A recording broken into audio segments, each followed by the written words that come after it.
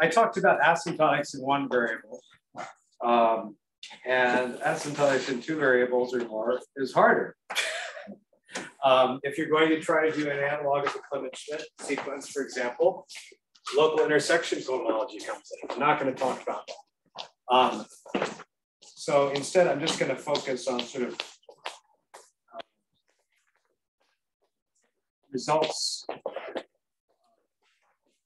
Paper I wrote with Colleen Robles and Greg Pearlstein uh, investigating basically using Hodge theoretic linear algebra. Uh, what can happen in two variables? And let me begin with the most naive formulation of the classification question I have in mind.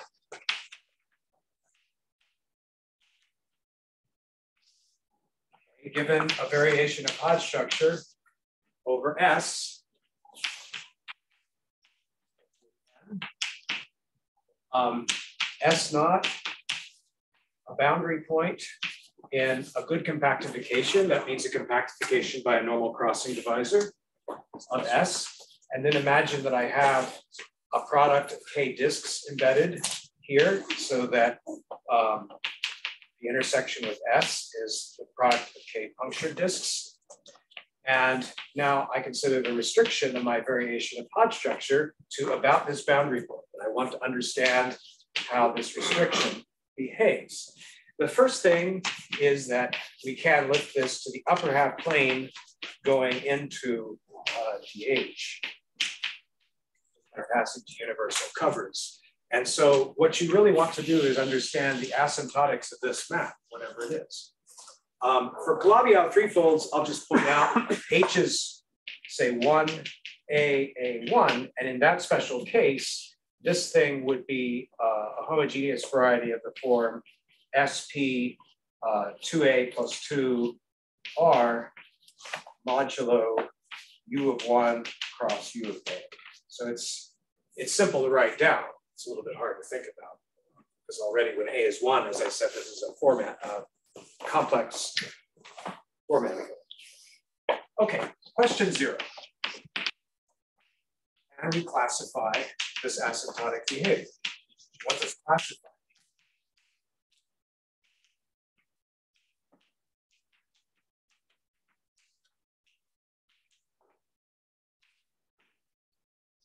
Um, you know, any any naive approach to this question um, might produce kind of a wild problem. K is one, the problem isn't so wild. You look at the limiting mixed Hodge structures, F infinity, together with this weight monodromy filtration that I introduced before, that depends on the, the monodromy logarithm. Um, and then there are things called boundary components in which these things live, boundary components classify sort of a repository or a classifying space for possible F infinities or a fixed um, N or W N. Um, this may not be an R split um, it mixed Hodge structure. So you may not have, may not have EQP R equals GPQ on the nose, remember, it may be modulo stuff A smaller than P and B smaller than Q, but you can fix this, and that makes the problem a little bit simpler. Um, you can pass to uh, fix this by using a splitting. So the splitting modifies this without modifying this. So there's something called the SL2 splitting in some of the literature. There's something called the delta splitting. That's the first one. That looks like this. And you know, there's some element in the Lie algebra of this group that would multiply that e to the minus i delta. This is the element of the Lie algebra and apply it to f infinity. There's a nice description of what that does. But at the end of the day, it just makes the thing split. It just makes this thing true. There's another um, splitting called the SL2 splitting, which is more complex. I mean, again, it's multiplying by some e to the zeta times e to the minus del i delta f infinity. But I mean, I can't say more about it without spending half an hour. I mean, it's very complicated. Uh, maybe one can just say that the nilpotent orbit coming from this approximates the original variation or the original nilpotent orbit a little bit better than uh, at infinity. So F infinity hat is the SL2 splitting. Those give slight reductions, either one, because you're passing to R split limit mixed Hodge structures. That cuts down the number of possible F infinities you're dealing with. And you know, you end up with smaller boundary components to record those things. But we can go coarser still. Um, we could pass to the naive limit, f lim equals the limit as z goes to i infinity of phi tilde of z, which bizarrely turns out to be the, you know, if one wants a description of f dot, then it's not VPQ lim with uh, P greater than or equal to dot. It's VPQ lim with P anything in Z and Q less than or equal to N minus dot. So in the picture where this is the usual Hodge filtration, things like this, the naive limit filtration ends up being like this. It's a completely bizarre little result uh, in my paper, one of my papers with Greg Frost. Um, and this lives in the boundary of the.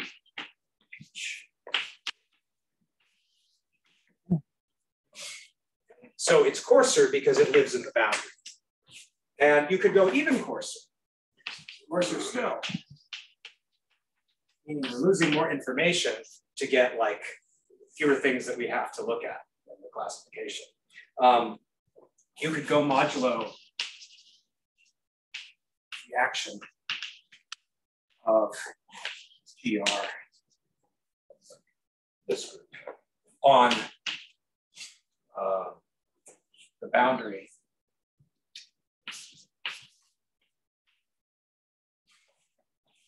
After passing the naive limit, go modulo the action of GR on the boundary of uh, the domain in D check. And this yields finite set.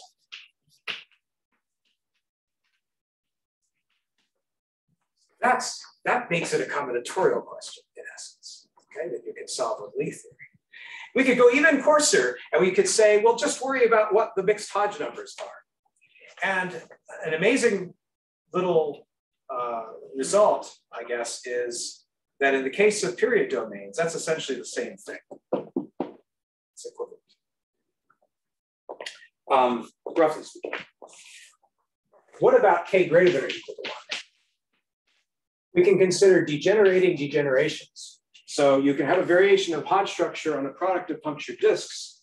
And one thing that we could do is we could just look at the degeneration along the diagonal disk. Alternatively, we could look at the degeneration to one of the axes, where just one of the um, variables in these upper half planes goes to I infinity. And then degenerate that variation of mixed Hodge structure. And we haven't talked about degenerations of variations of mixed Hodge structure, just pure Hodge structure, but you can do it. Um, it can be defined rigorously. So you could call this degeneration one, that's the degeneration along you know, just where one variable goes to zero of the pure variation. And then you get a mixed variation together with the weight filtration associated to the n about this axis. And then you do a degeneration of that variation of mixed Hodge structure. Um, and then the question would be, is this two the same as this two? And they are equal. So that those two methods give the same limiting mixed Hodge structure.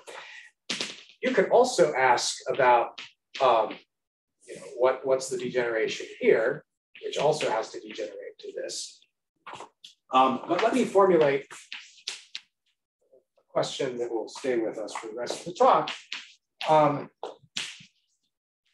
what limiting mixed Hodge structure types arise so that's just the k equals one question.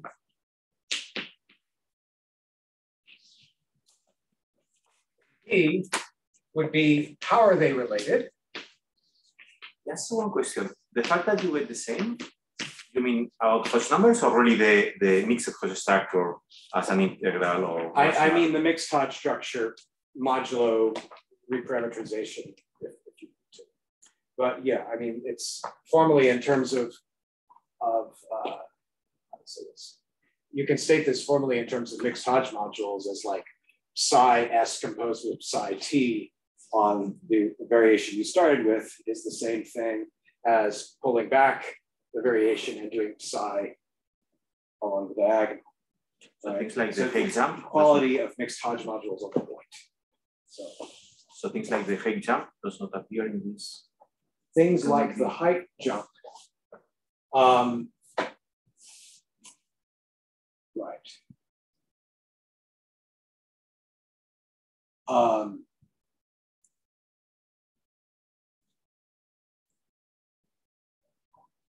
I thought that the height jump involves some non-abelian. Uh, I may not remember exactly. I don't remember how that works off but it's it's a, it's a fact that that composing these uh, limiting mixed Hodge structure procedures gives this. It's in one of the Catanian capitals. We can clarify that. Okay, so how are they related? In other words, this is a k equals two question um, about what kinds of pairs, um, one and two, or three and two, can appear. And then what combinations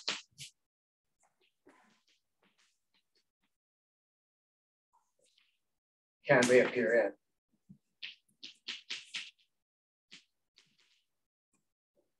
On all faces. Okay, greater than or equal to two question. So here I would use a notation like one, two, three to describe a triple that I want to appear. And you can see at the end of the talk, I'll talk about some triples that actually, uh, how to classify admissible triples if you are restricting yourself to um, the notion of types just given by mixed Hodge numbers. One, two, three refer to the previous specification you mentioned in the, in the other uh, so one, two, and three would just be however you're classifying limits in one variable. Uh, how can, like, which triples are admissible in this picture, right? So I have the degeneration along the diagonal here to two. I have the degenerations along the axes to one and three. What triples are admissible for limits of a variation on the, on the puncture disk squared? So, so that means two can be four. That means two can be. Oh no no no no! I, yeah, I don't. Yeah, I don't mean yeah. the Calabi-Yau classification of yeah. degeneration. So, notational conflict. Okay, so let me. One and three are the same, right? Because the, you're just degenerating in one direction, or what is the difference between one and three? Uh, okay, so if these variables are uh, S1 and S2, this is S2 goes to zero, this is S1 goes to zero, and this is both go to zero. Okay. So at, at the very least, for instance, I could have um, a genus 2 curve, and maybe this cycle gets pinched to a point uh, in one, and this cycle gets pinched to a point in three, and they both get pinched to a point in two. So that would be something that you could do.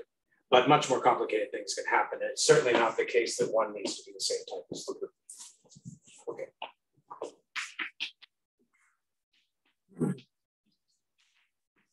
Okay, so let me say a little bit about Hodge domains.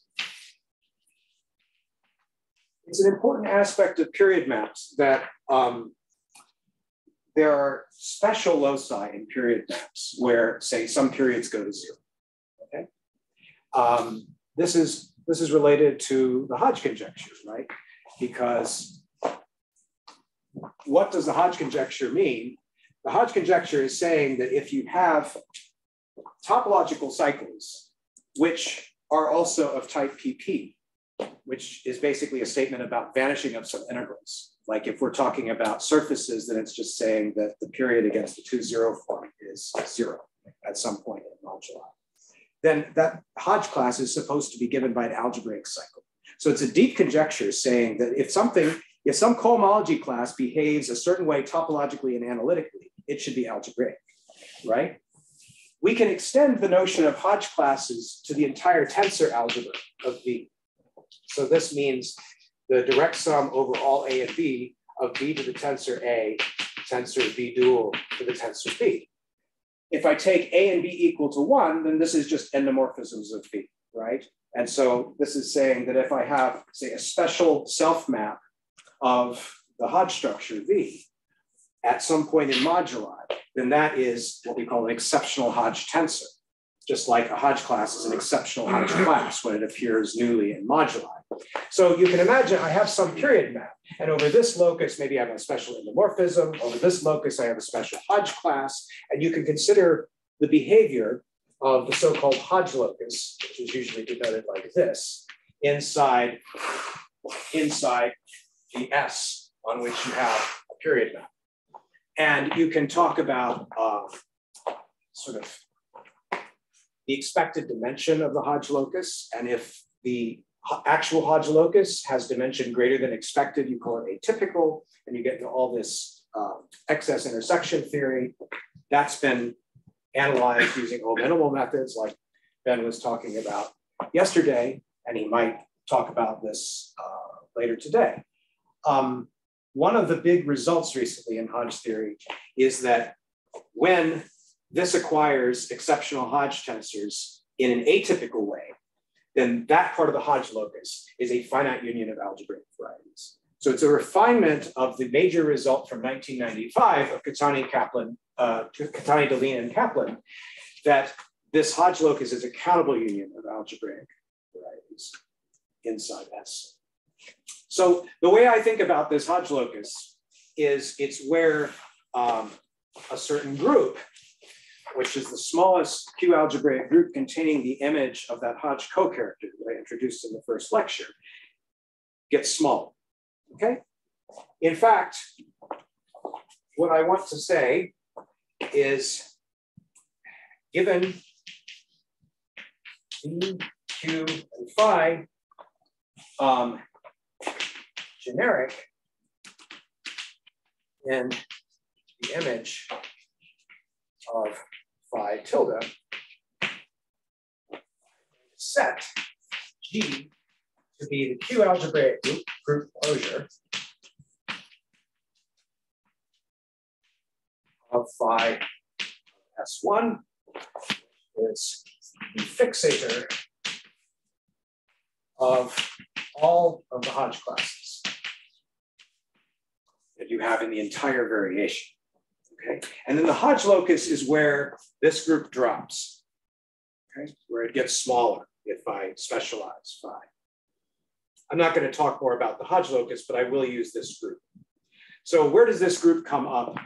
If you analyze a family of curve of genus two curves, it's just completely arbitrary, completely arbitrary family of genus two curves. This G will be SP4 okay? But if I analyze, eh, say, genus three curves, it will be SP6. But now suppose I analyze the family of curves y cubed equals x, x minus one, x minus a, x minus b.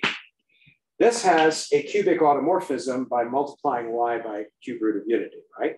These were studied by Picard over 100 years ago. And Picard and Holzapfel and Shiga and others developed the picture of the period map for this family of curves, actually taking values in a two ball quotient, so B2 modulo gamma. So you have a period map going into that thing instead of the full SP6 period domain. And this B2 is actually um, a homogeneous space for SU21 uh, modulo SU2.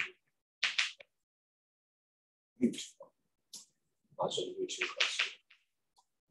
Okay, so this would be the G in that case. And, and the, that comes because sort of this, this V2 is the fixed locus inside the big period domain for this action on periods. I do not want to erase this. So, sorry, can I ask a question? Sure. Uh, so um, now back to this complex multiplication thing. I, I Yeah. It's very complicated if it's on the elliptic curve. But Yeah, if you have an elliptic curve, then the complex multiplication points are exactly well, Yeah. the, the, the, this Hodge group. But then if I Hodge go like for threefold, are these inside? I mean, it seems like weaker Um, for threefold. Right? okay, so for an elliptic curve, the Hodge group is either SL2, in which case that's generic, or it's a tor it's a one torus, in which case the elliptic curve has. Yeah. And the period ratio of the elliptic curve is imaginary quadratic. Those are the two possibilities. For threefolds, there are, you know, many possibilities for what this group could be. Say inside SP6, it's pretty rich. Even so- inside SP4 for 1111 Hodge structures, it's pretty rich. Um, classifications. I just want to introduce this sort of this general uh, point of view because it's actually better to think in these terms, even in the period domain case for some purposes, than to trying to think just about period domains. Just take an arbitrary Hodge take a homogeneous space for that. That's my classifying space for Hodge structures. What can we say about that? Okay, so the picture here then is I have my period domain. Inside that, I have the orbit by the Hodge group of my Hodge structure. And I'm going to call that just D. That's isomorphic to GR modulo a compact. And then I can look also at the compact dual. And inside that, I have the GC orbit of the corresponding Hodge filtration. That's going to be called D-check. Again, this is an analytic open subset, the D-check. And this is isomorphic to GC modulo a parabolic. So this is a nice, these are these projective homogeneous varieties that people computing quantum cohomology. They're very well studied. Um, when k is equal to one, it's k equals one question. The monodromy, of course, is in G of Q. Um, and so that means that the monodromy logarithm will be in rational Lie algebra of G. Okay, so what you do with this is you reduce all of the questions about asymptotics to questions about Lie theory. That's why it's better to think in these terms. And we can also define uh, boundary components, parameterizing nilpotent orbits in this context. So you say B tilde of n is going to be sort of a period domain or a, Hodge domain. That's what these things are called, Hodge. For limit mixed Hodge structures. So how do we define this? We say I want all f dots in D check such that e to the zn f dot, this is my sort of f infinity, is in D for the imaginary part of Z much bigger than zero. When I wrote that down that nilpotent orbit last time, this is a property that nilpotent orbits all have. So basically what I'm saying is I want all of the Fs in D check, which together with some N yield a nilpotent orbit. What else do I have to have? I have to have transversality. So I need N to hit F dot and send it into the next flag down at worst. So my first paper with Greg Pearlstein was to say as much about these things as we could to present them as like homogeneous spaces of a sort and um, iteratively fibered varieties over a Hodge domain like this and where the fibers are recording extension classes of mixed Hodge structure. Now, if you go to R split mixed Hodge structures, if you're happy to work on the level of those, then there's uh, a smaller set classifying the possible limiting Hodge flags. Um, so what you want is you want Z goes to E to the ZNF, theta Z to give an SL2 equivariant embedding of H, the upper half plane, into D. That's called an SL2 orbit. So in other words, I want to have some rho, group homomorphism from SL2R to GR, such that theta applied to theta at gamma of i, this is the action of SL2R on a point in the upper half plane, equals rho of gamma applied to theta of i. So that's what the equivariance is.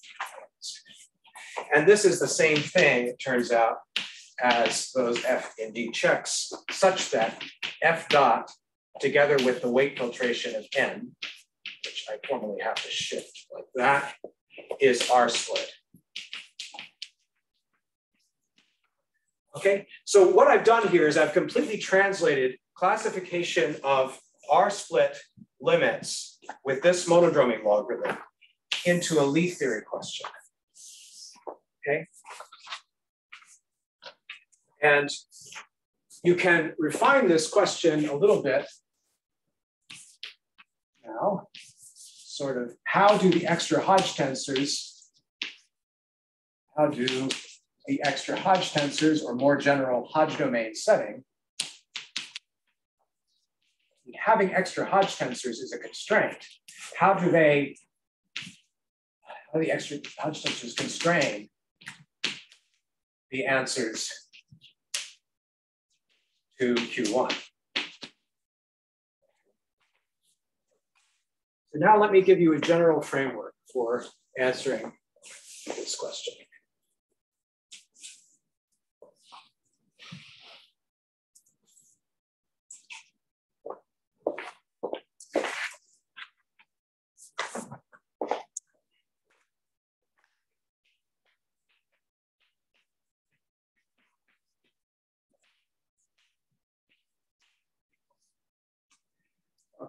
So I'm going to ignore rational structure at this point. I'm going to translate this entirely into Lie theory. I have my D check. Inside that, I have my D, and then I have the analytic closure of D and D check.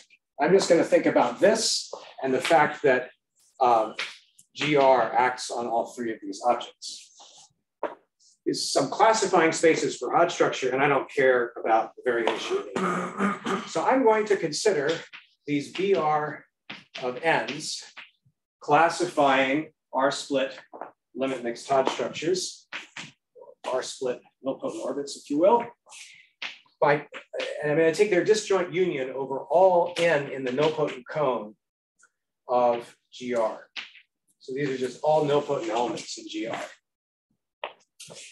That disjoint union, I'm going to give a name, BR tilde of D. And you know, given any element in BR tilde of D, F dot N, I can do one of two things. The obvious thing is to send that to N, to forget the F. And that gives a map from BRD to the nilpotent cone of GR. But there's another map we have seen. I can take the naive limit as z goes to i infinity of e to the zn f. And where does that live? That lives in uh, that lives in d check.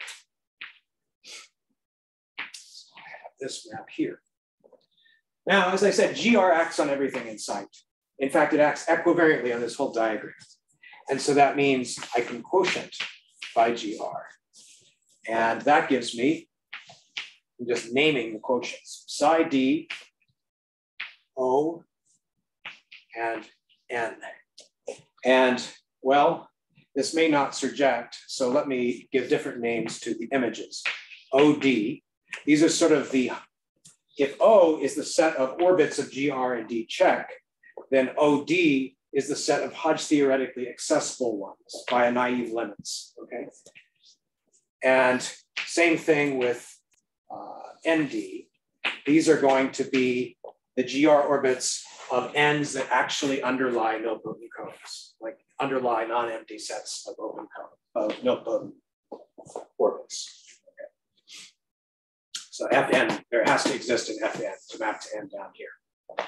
Um, okay, so again, these are Hodge theoretically accessible things. I'm going to call, call, call them the polarizable boundary strata.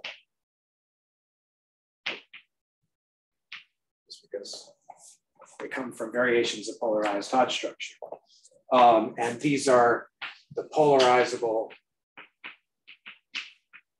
uh, and here is a notational travesty, nilpotent orbits. So Lie theorists call a nilpotent orbit the orbit by GR of a nilpotent element, right? Hodge theorists call nilpotent orbit this thing. It's terrible. so we have two different notions of nilpotent orbits. Anyway, these are all finite sets. So we can ask, I mean, it looks like this would be really difficult to compute, right? But Lie theorists know how to compute the number of orbits, right, of GR in D check. Or, I mean, this is really, this is going to contain one element, which is D. That's a GR orbit. And then orbits in the boundary right? Because my variation is just doing something like this, or maybe going to an interior point. I mean, it can only hit things on the boundary of D and D check. So this is some finite set. Might this be a bijection, allowing us then to compute and completely classify no nilpotent orbits in this sense? And the answer to that turns out to be yes. So that's the first theorem uh, in my paper with Pearlstein and Robles. Um, there's also a notion of order on O and N. So let me say what that notion of order is. O1 is less than O2 if and only if O2 is contained in the closure of O1. Okay. The idea is that you're sort of doing a family of nilpotent orbits that are then going to degenerate to a more degenerate nilpotent orbit. So you have this sort of, uh, this is more degenerate than this. And then it's the opposite for N1 less than or equal to N2. This is, these are definitions. If and only if N1 is contained in the closure of N2. Okay. So then this gives rise to question two,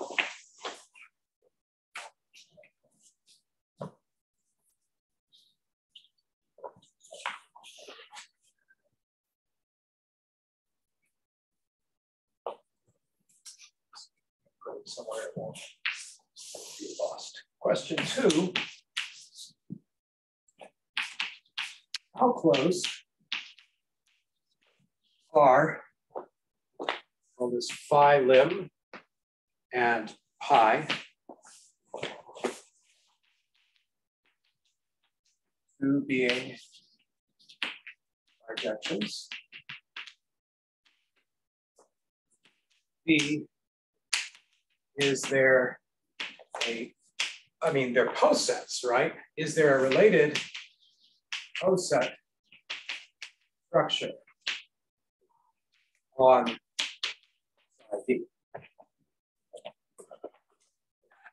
So what is the what is the motivation here? For me, the motivation was to elucidate the combinatorial structure of polarizable nilpotent cones.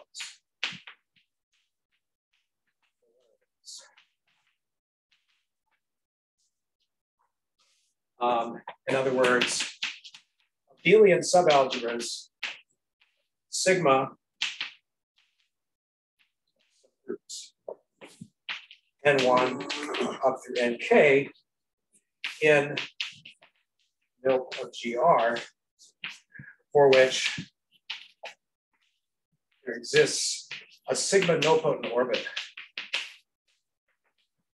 This is the Hodge theory sigma nilpotent orbit. So what does that mean? That means a theta from HK to D check with z going to e to the sum of zj nj f, where three things have to hold.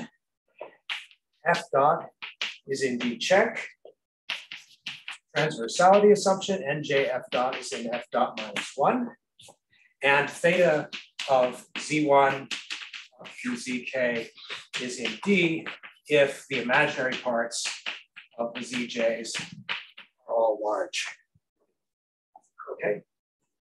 And this is equivalent to the existence of a variation of Hodge structure over delta star the k with n1 through nk as monodromy logarithms.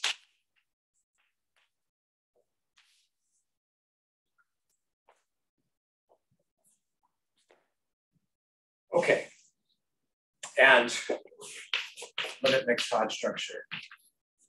E, F, W.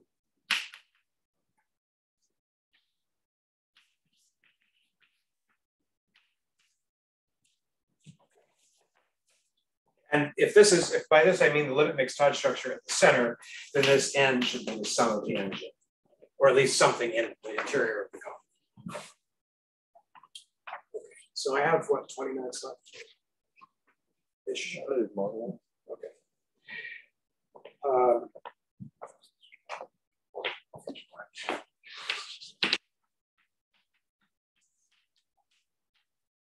all right, I want to summarize my Hodge-Deligne diagrams with a function that sends PQ to HPQ infinity. Okay, so if you if you have a mixed Hodge structure, you have a delta because it has these m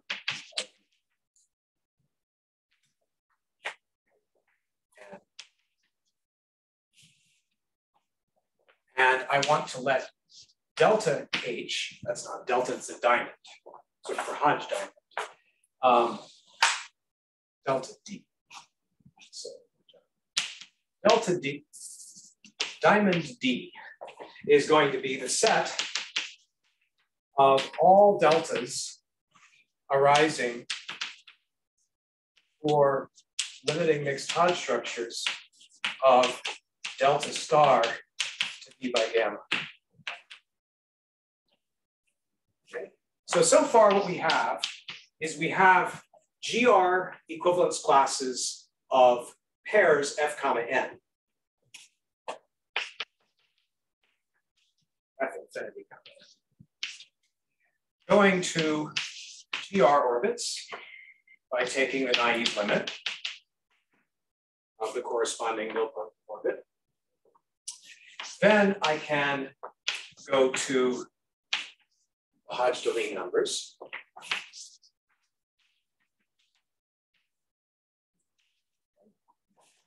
Naive limit has the same Hodge-Deligne numbers as this. And these are contained in the Hodge-Deligne, the possible Hodge-Deligne numbers for Hodge structures on the period domain. The limit mixed Hodge structure is coming from the period domain just because D is contained in DH.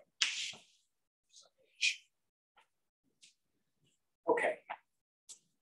So this is the picture that we want to understand. So what are some general results about this? I'm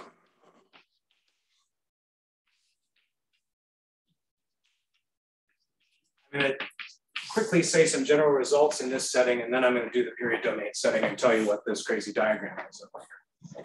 Okay, so Colleen Robles solved uh, Q1 prime, that means in the general Hodge domain setting, uh, A.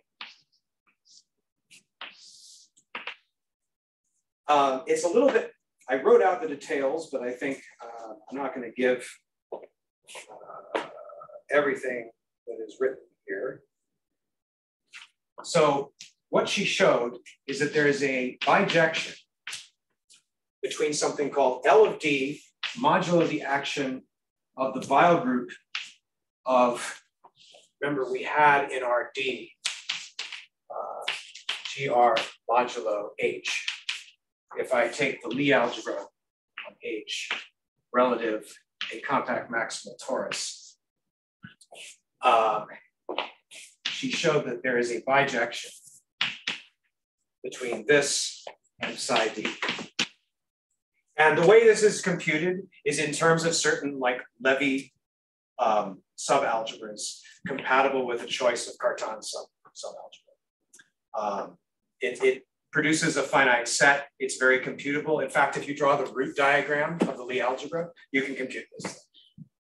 Um, and what does she do? She basically takes some Levi subalgebra, puts um, an SL2 triple inside this uh, Levi subalgebra, and that gives sort of, how to say, some kind of Hodge structure inside D, and then she applies a Cayley transform, and that gets you to the boundary. And that gives you your R split F infinity that you need to get a pair in here. And then she does some transformation on the SL2 triple that gives you your N. So it's very natural. There's an explicit map from here to here, but I don't want to go into that. Um, and one thing that it does is there's a natural way of putting what appears to be an order on these Levi subalgebras. It's a little bit, again, it's a little bit complicated to say. It's up to the action of the Weyl group, and it's not exactly that one is contained in the other. It's a little more complicated. The problem is it doesn't exactly yield a poset. And this is your first hint that there is some trouble afoot. And in fact, one is never going to get a poset structure on psi in general. For Calabi-Yau's, it's a particular problem.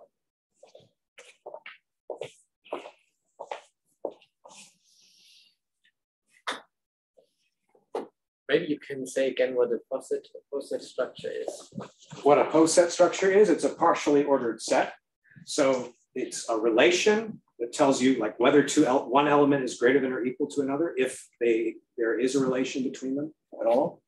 Um, and a is less than or equal to B and B is less than or equal to A, then they're equal. You know, if A is less than or equal to B and B is less than or equal to C, then A is less than or equal to C, transitivity. Transitivity is really the thing that can fail. So in other words, if you have a degeneration from type A to type B, and a degeneration from type B to type C, does there exist a degeneration from type A to type C? Not always. That's the trouble. Okay, so the way we started thinking in the paper that we wrote uh, with Pearlstein is we said, let theta be a sigma equals r greater than zero n1 up to nk, nilpotent orbit. We want to understand its you know, asymptotics in various directions and how they're related. And so I'm going to take CK to be the K cube coset of faces of this cone. This is just the power set on 1 up through K. Um, and now we apply applying phi lim, the naive limit map, and pi, the thing that forgets f and goes to just n, to the sub nilpotent orbits in faces of sigma, yields a little diagram like this. CK goes to ND, goes to OD. So here I'm, I'm taking naive limits and directions in the cone. Here I'm taking the just the sum of n's in a direction in the cone. And you could ask, since psi d has projections to these things, does this map factor through psi d? In other words, do we get a relation of, of this type on the Levis that Colleen used to uh, put a relation on this from every relation in this cube, right? So this whole diagram comes from a, a, a single nilpotent orbit. Um, and so the question is, if we have a relation here in the cube, do we have a relation here among the nilpotent orbits? And the answer is yes.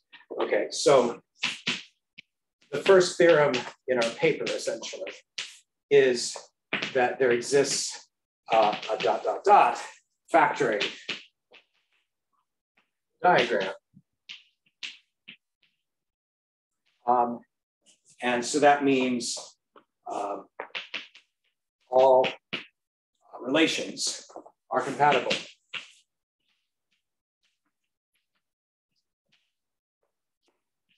Under phi, phi lim, and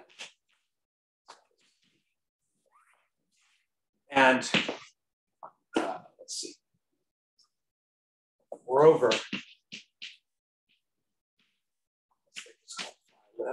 Phi lim is a bijection.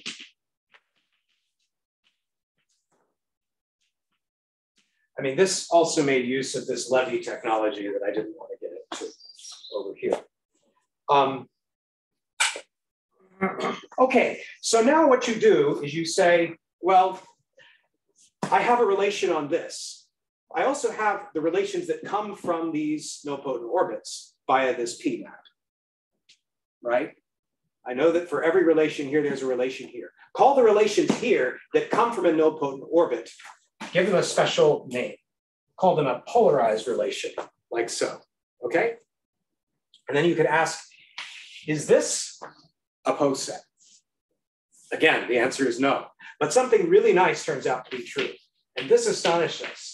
And it comes straight out of uh, the paper on multivariable SL2 orbits by Cattani, Kaplan, and Schmid.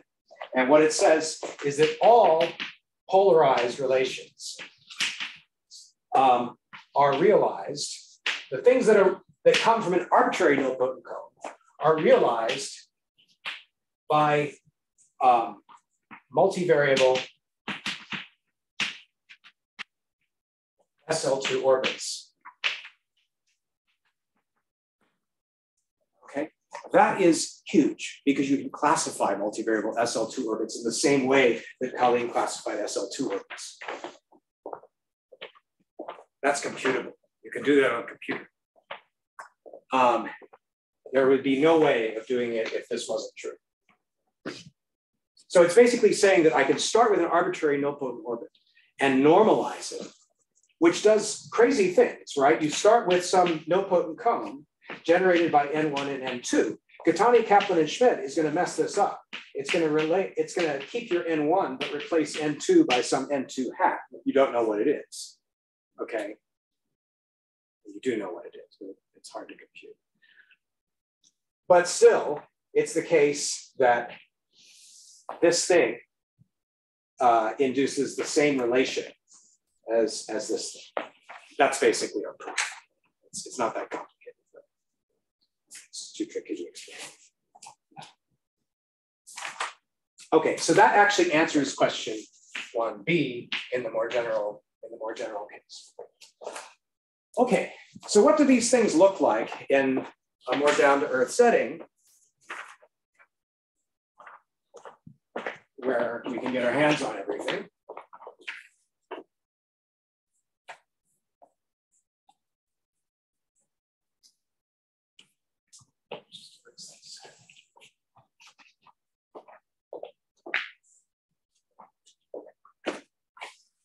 Last section, the period domain case.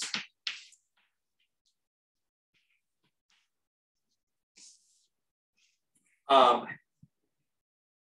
so here we define our diamond, the, all those functions from z cross z to z, such that delta of pq equals delta of qp equals delta of n minus q n minus p the sum over Q of delta PQ is equal to HP minus P.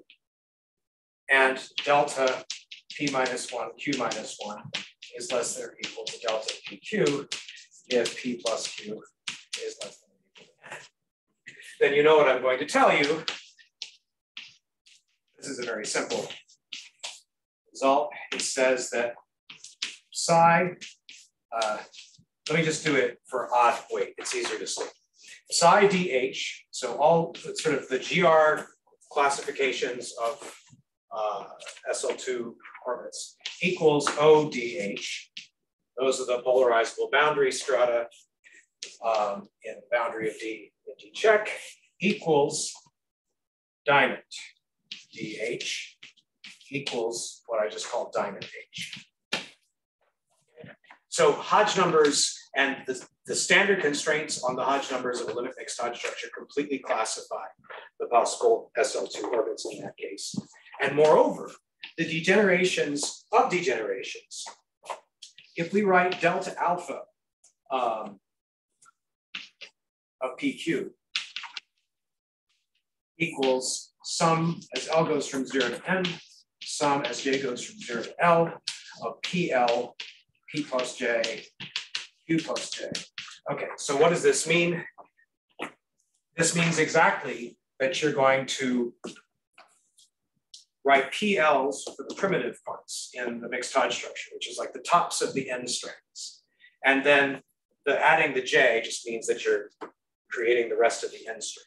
So if I have a given mixed Hodge structure in terms of the Hodge numbers that's given in terms of these primitive parts, then we have that delta alpha is less than or equal, sorry, polarized relation. You can actually uh, get from al alpha to beta by a degeneration of mixed Hodge structures, if and only if delta beta is sum as L goes from zero to N, sum as J goes from zero to L of delta L, P plus J, Q plus J, with delta L in diamond uh, H of L for all L. Um, and what does that mean? These things have Hodge numbers. These are Hodge structures of weight n plus L with Hodge numbers H of L. So what is this saying? This is saying that if these delta L's are admissible degenerations of the PLs, then this whole thing is an admissible degeneration of this whole thing and vice versa. In other words, any admissible degeneration of the primitive parts gives you an admissible degeneration of the picture. So now let me come over here and tell you in plain English what this means. Consider this mixed Hodge structure, right?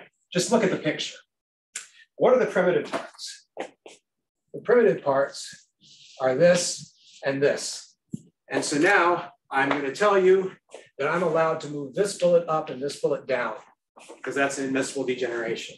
And then I could keep this constant. What happens if I do that? I get this picture.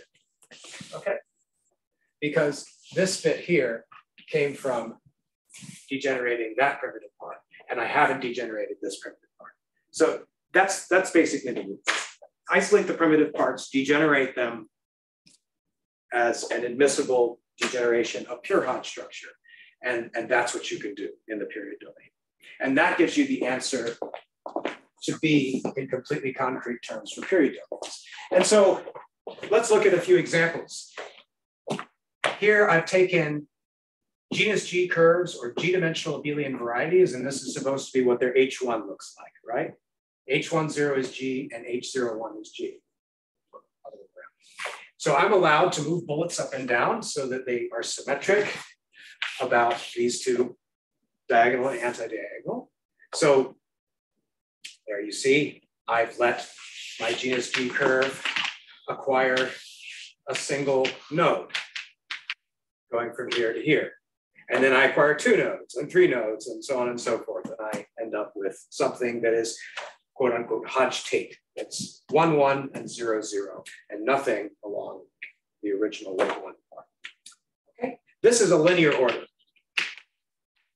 That's pretty nice. So we get a linear order on psi D. Now we go to oh, a weight two example. So I start off with Hodge structures of type 2B2. And as you can see, I can degenerate in these, in these directions. The, these arrows mean that I can take any composition of these arrows, and that's still an admissible degeneration. So transitivity does hold. In other words, um, you know, this is still an arrow and so forth. All right. So that's the picture there. It's a nice partial order. Partial order. And Colleen and I studied contact domains, like all of the possible contact Hodge domains, and showed that they enjoy a partial order of this type. Now all hell breaks loose. One, two, two, one, which is not that complicated uh, weight three type of Hodge structure. The yellow arrows are the only admissible degenerations. In other words, you cannot say, I want to compose these two things and degenerate in that direction. From that mixed Hodge structure to that mixed Hodge structure. Um, you can't, uh, well, okay, wait a second. If you're starting from zero, I guess I should have actually drawn these other two arrows. Everything is an admissible degeneration of, of the pure thing. But uh, you cannot compose all of the arrows. Uh, in particular, let's see, I wrote it down. You can degenerate from four to five and from five to seven. But what you cannot do is degenerate from four to seven. That doesn't work. Okay. The, the problem is that what are your primitive parts? Your primitive parts are this and this. You're allowed to move those up and down. Indeed, that gets you from four to five. You're not allowed to move these up and down because they won't then have the property that the numbers increase towards the anti-jag. You won't have an SL2 string. So this cannot do anything. Until you put a bullet in here, you can't degenerate that. And so you cannot directly degenerate from four to seven. So that is to say, to get my order right, you have polarized relations four, five, seven, but four to seven does not work. And so to fix this, we sort of introduced, we forced a partial order on it by mapping these these two cubes or n cubes more generally into these diagrams. And then those things have a partial order, but that's too complicated a story to relate now.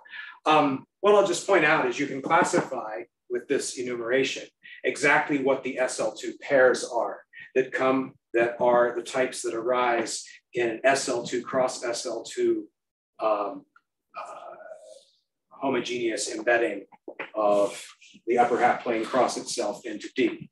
And there are these four types. But then there are several other types that you get by taking certain admissible triples. Like each pair, three and seven, has to be a pair appearing along one side of an SL2 pair.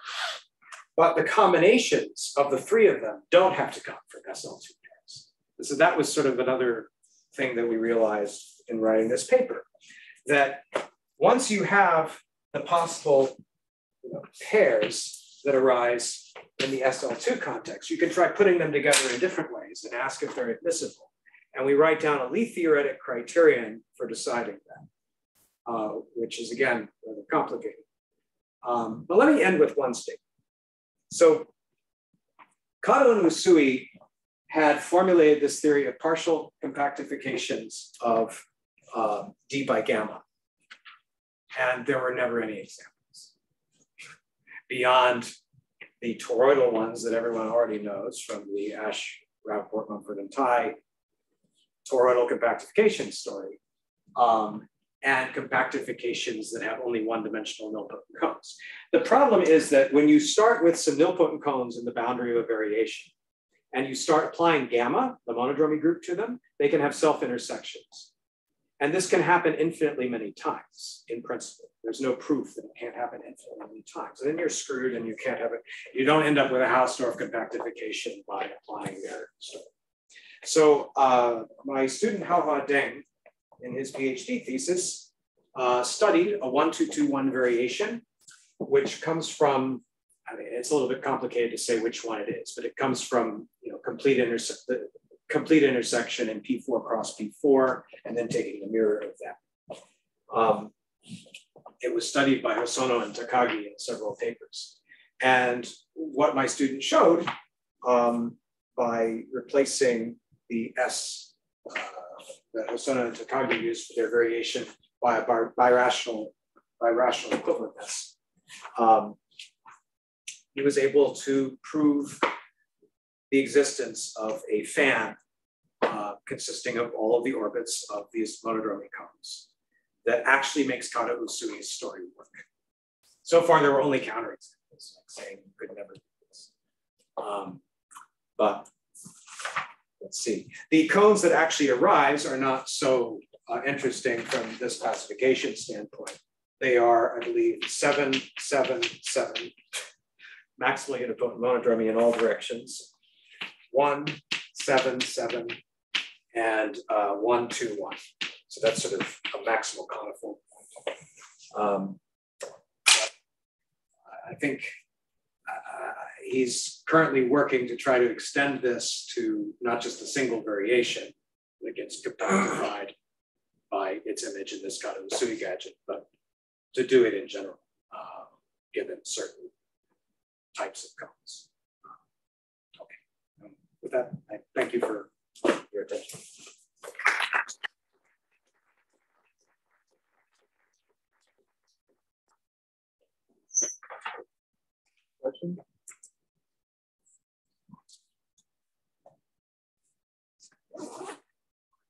So, so coming back to the classification um, story, um, so you showed essentially that this whole classification can be done in the SL2 picture, right? Yeah. And the SL2 picture is very clean, right? It's yeah. just raising, lowering operators and, yep. commuting and pairs of SL2s. Commuting pairs, pairs of SL2s and so on. So uh, what is the complicate? Where, where is the complication hidden in this picture on, this order, for example? Can you, is that easy to see or? Well, I mean, you see, and okay, I mean, yeah, you see what all of the possible polarized relations are that are given by these yellow arrows, and then you just see that it's not transitive. Yeah. It's bizarre, but that's that's the way it is. And I, I mean, from the explanation I gave here, it's quite clear that you can't do a degeneration from four to uh, four to seven. But, I don't understand exactly why you cannot make this movement in the sense that you can only move two dots every time because no no no you, you can, the... you can only move you have to it has to work on the level of the primitive parts. Okay. Right? So uh, a Hodge structure of type 2 0 plus 0 2 cannot degenerate okay so the point is that you have to take the primitive part and you have to only work with this primitive part yes you have to work with the individual primitive parts and those are the possible one variable degenerations like keeping that tight away from the And then in zero, the point is that everything is primitive. So now you can move everything and you can go directly to seven. Yes. Moving everything. Yes, exactly. So you sort of trap yourself by going to 4 mm -hmm. It's like a board game. But so if one wants to put this on a computer for arbitrarily high cubes, then it is not anymore cubes. N cube.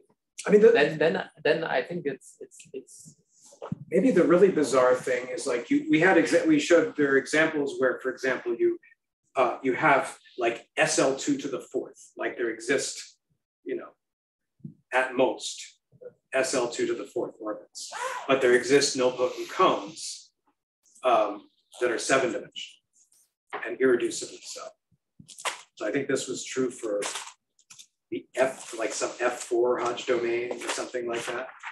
And you know, so that's saying that by looking at kind of small dimensional variations of SL2 type, you can you can reconstruct these like much larger dimensional things.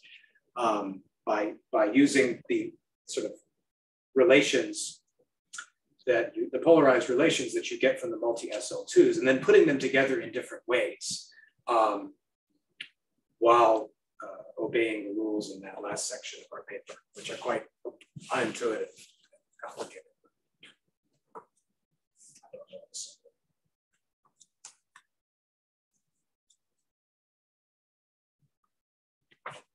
Maybe this is more a question for Thomas, but in terms of your picture, this distance conjecture, any of these sources is infinite distance, right? From the beginning.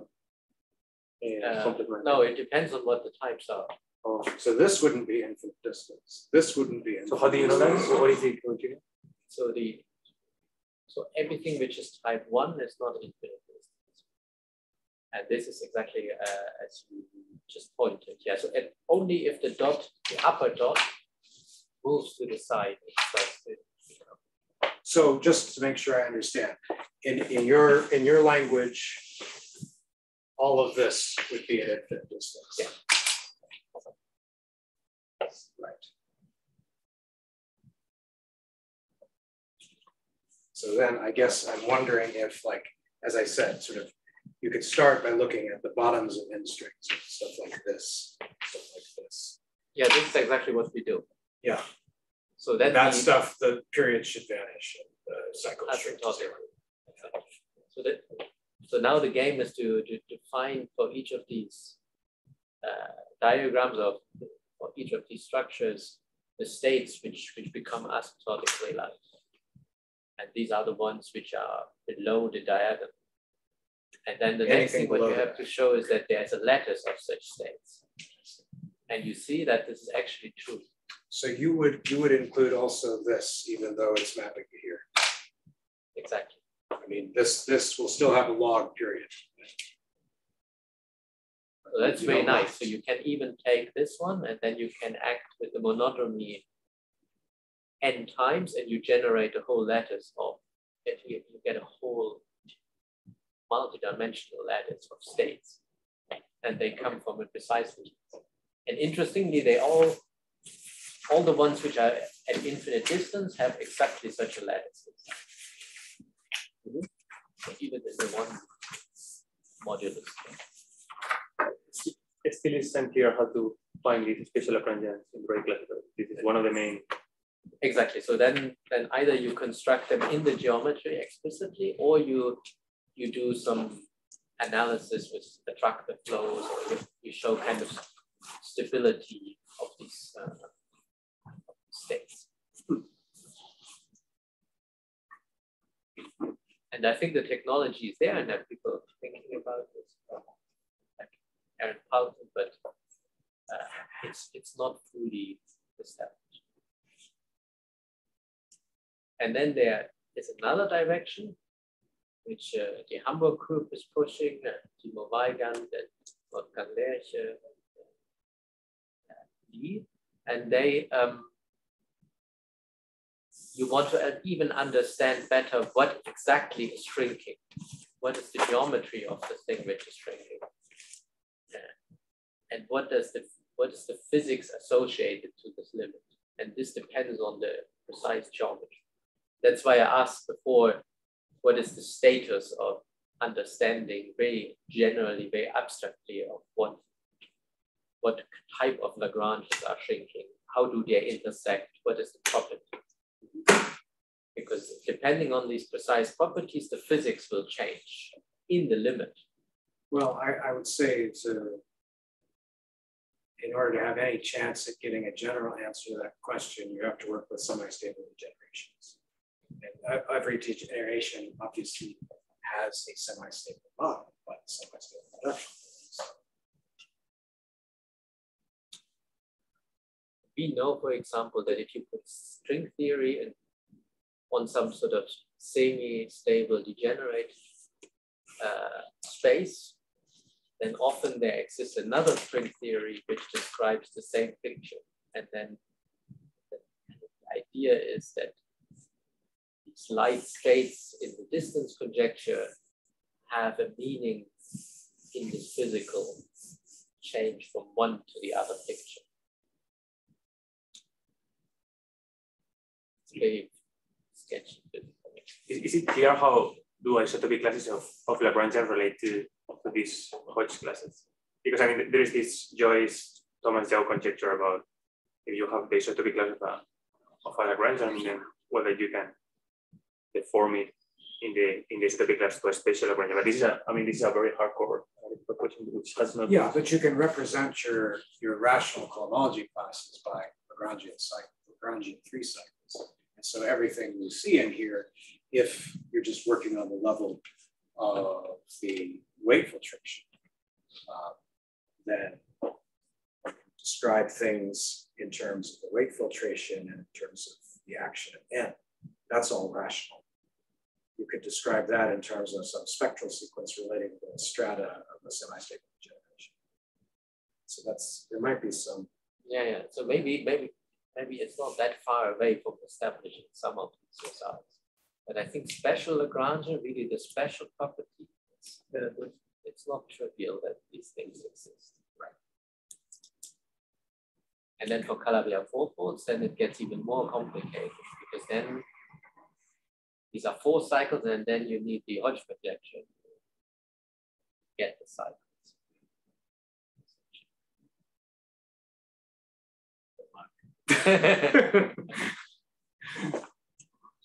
Any comments? Let's thank again.